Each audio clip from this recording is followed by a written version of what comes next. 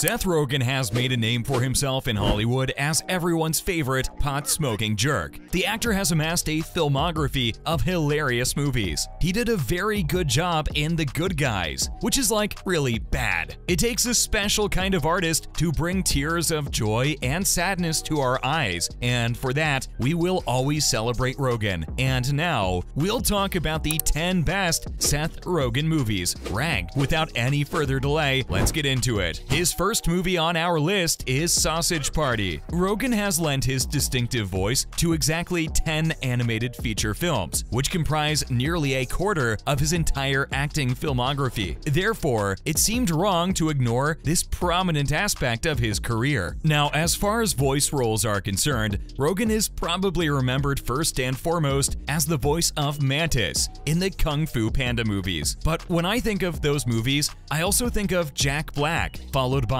Oscar winners Dustin Hoffman and Angelina Jolie. I thought Rogen did a great job as Pumbaa in the Lion King remake, in which he was well matched with Billy Eichner. But he did a better job than the original voice of Pumbaa, Ernie Sabella, right? There are also plenty of fans of Rogen's voice as the titular alien who befriends Simon Pegg and Nick Frost in 2011's Paul. But the truth is, there's one Rogen voice role that stands above the rest, and that's his job in Sausage Party. Rogen voiced Frank, an anthropomorphic hot dog who lives in a supermarket and wants to slip into Brenda, a delicious hot dog bun, voiced by Kristen Wiig. When Frank discovers the truth about his short existence, he sets out on a journey with his friends to escape his fate while facing his idiot nemesis, Nick Kroll. The fact that Rogen also co-wrote and produced this foul-mouthed, food-based fantasy sets it above the other films for me. Sausage Party is a brilliant parody of Disney films, and audiences rewarded their creativity by becoming the highest-rated animated film of all time, surpassing South Park,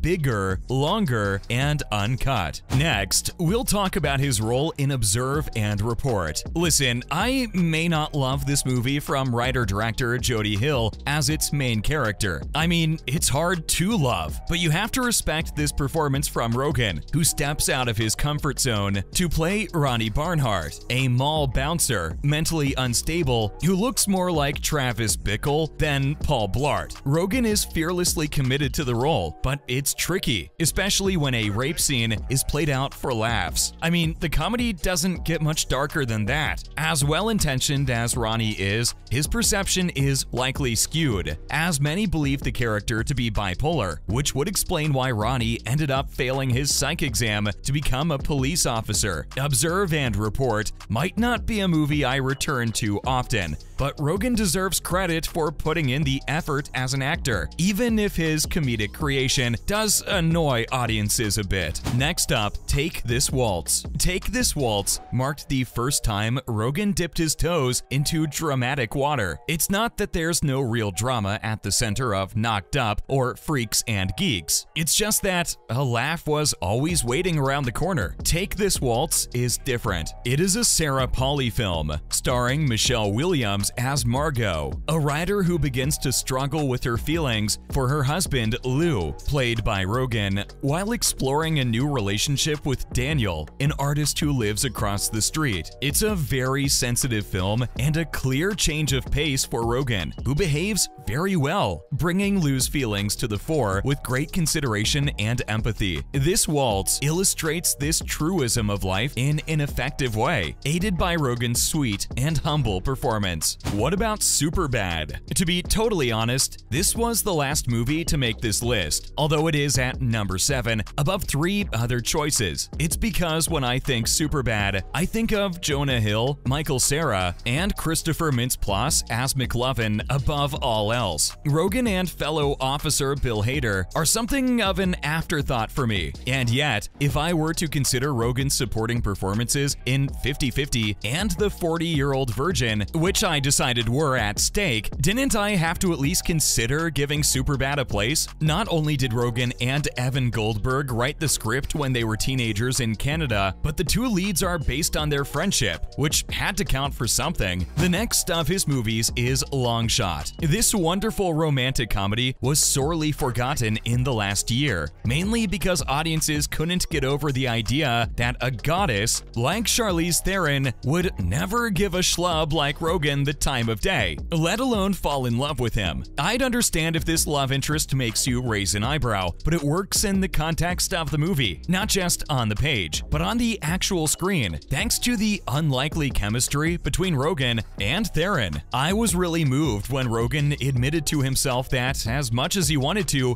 he could never subvert his own personality to help Theron's political career. He's a nice guy who really cares about her and shouldn't have to change, since she's the one who, when it comes to her own love life, needs to stop caring what other people think. Polls are for politics, not romance. It's a refreshing message, and Rogen is a first ever First Lord. His next movie on the list is This Is the End. What better Seth Rogen is there than the real one? Rogen played a not that fictionalized version of himself in this apocalyptic comedy, which is fueled by his friendship with fellow Canadian Jay Baruchel, whom he first worked with on Undeclared. Jay has been looking forward to a quiet weekend with Seth, who insists on taking him to a party at James Franco's house, where, naturally, all hell breaks loose. That's right, The Rapture made it to the Hollywood comedy A-list, and only a handful of guys were spared. Rogen's genuine affection for Baruchel paid dividends here, and this film continues to be totally unbelievable. Next is Neighbors. Rogen grew up a little with this underrated comedy from director Nicholas Stoller. He played a father who was desperate to protect his family when a boisterous and belligerent fraternity takes over the house next door. In recent years, Rogen himself may have presided over this fraternity, which is why it was so interesting to see him trade a red solo cup for a baby and a mortgage. Don't worry, Rogen still has a lot of fun in this high school comedy. Once again, Rogen's co-star is a little out of his league, but he sold us on his marriage to Rose Byrne, who delivered the film's standout performance. Instigated by a friend, Ike Barinholtz, the couple embarked on a growing rivalry with Zac Efron and Dave Franco before a ceasefire was finally concluded. I never envisioned Rogen as the picture of domestic bliss, but when the dust settles on Neighbors, it was an oddly good look for him.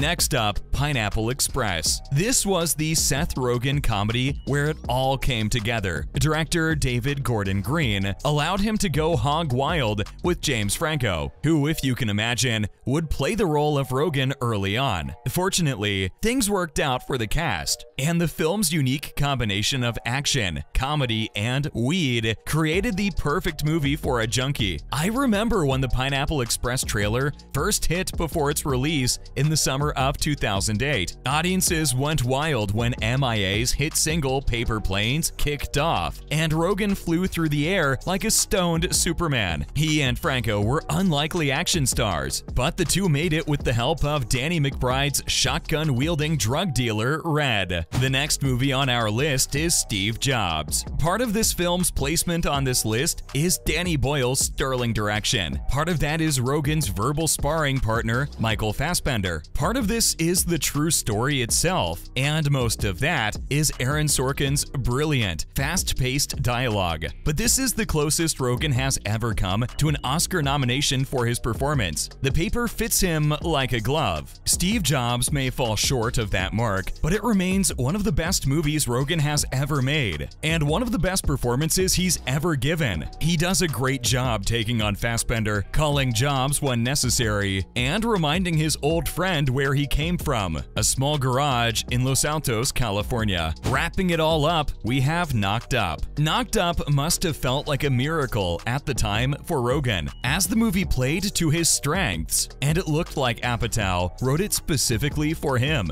He played Ben Stone, junkie and lazybones, whose biggest ambition is to launch a website that chronicled famous scenes in movies, a website that already existed at the time. Knocked Up was a real home run for Rogen, which is why it's at the top of our list. That concludes today's video. If you found the video helpful, give us a thumbs up and don't forget to share the video with your friends and family. See you next time.